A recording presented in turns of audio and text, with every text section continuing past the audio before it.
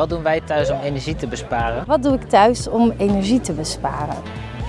Gewoon een, eh, wat dikkere kleding aan. We zetten s'avonds de verwarming om 9 uur al lager. En we hebben zonnepanelen. Uh, minder lang douchen. Een tijdje geleden hebben we de spouwmuren geïsoleerd, al het glas laten vervangen. We zien dat ook weer terug op de energierekening. Het douchen doen we niet meer dan nodig. We zijn aan de slag gegaan bij kringlopen en hebben dik vesten gekocht. We kijken televisie met uh, hè, lekker dekens om ons heen. Al met al is mijn huis goed geïsoleerd. Ik heb ledverlichting aangebracht. We hebben afgelopen winter ook minder gestookt. En daarmee hebben we ook uh, redelijk wat energie bespaard. Dus wat dat betreft denk ik dat we behoorlijk wat CO2 uitgespaard hebben.